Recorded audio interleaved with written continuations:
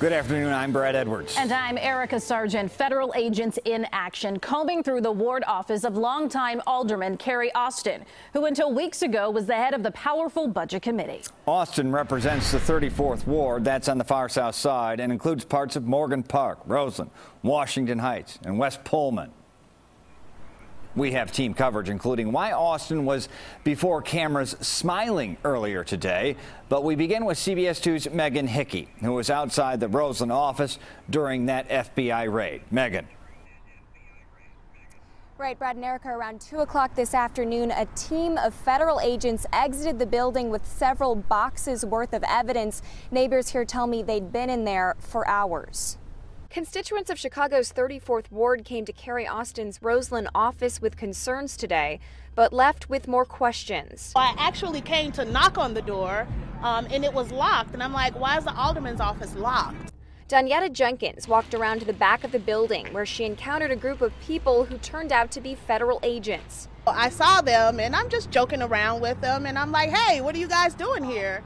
And they're like, you gave me some baloney story. What'd they say? He said they were fixing pipes or something. They were going to fix a pipe or something like that. And I was like, come on, you're pulling my leg. And uh, wow. he just repeated it, and I got the clue like, zip it, Donyetta. Our cameras were rolling as the agents removed several boxes from the building and placed them in unmarked police vehicles. The FBI confirmed to CBS 2 that the raid was court authorized, but could not give us any details beyond that. The boxes appeared to contain papers and electronic equipment. Meanwhile, a steady flow of constituents continued to show up throughout the day. It's really surprising to find that the FBI has raided your alderman's office. Most unaware that anything was happening here. I'm wondering uh, what were you doing that the FBI was involved? Now, again, we know that raid was court ordered, but we still don't know why those agents were here.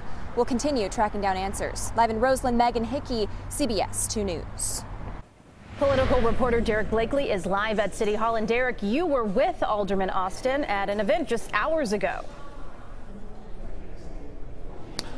I was indeed, Erica, and of course, no one knew what was going on at that time at her ward office. We're at City Hall awaiting the appearance of Mayor Lori Lightfoot, a former federal prosecutor, who is sure to have plenty to say about the latest Chicago alderman to come under federal scrutiny, 34th Ward Alderman Carrie Austin. Austin, of course, succeeded her husband, Lemuel Austin, in the city council following his death back in 1994, and she's been there ever since, some 25 years.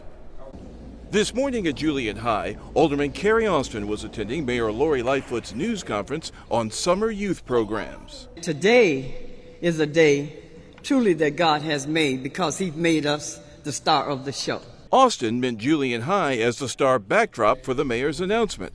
But at that very moment, Austin herself was the unknowing star of another show.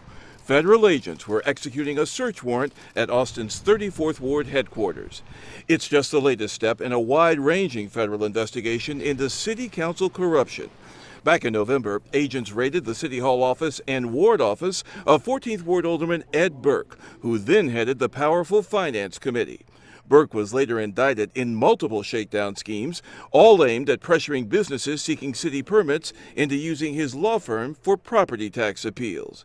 And later, it was revealed former 25th Ward Alderman Danny Solis, who chaired the zoning committee, wore a wire to record Burke's conversations after he was confronted with corruption allegations from federal investigators. Until Mayor Lightfoot deposed her, Alderman Austin was chair of the Budget Committee which means the recent heads of the three most powerful council committees, Burke at Finance, Solis at Zoning, and Austin at Budget, are all now under the microscope of federal prosecutors.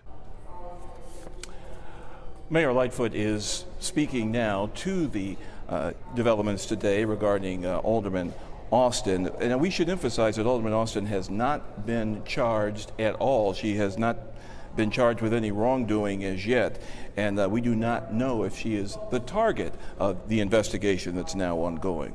What's more, federal raids do not always lead to charges, and we can also tell you we reached out to Alderman Austin's office.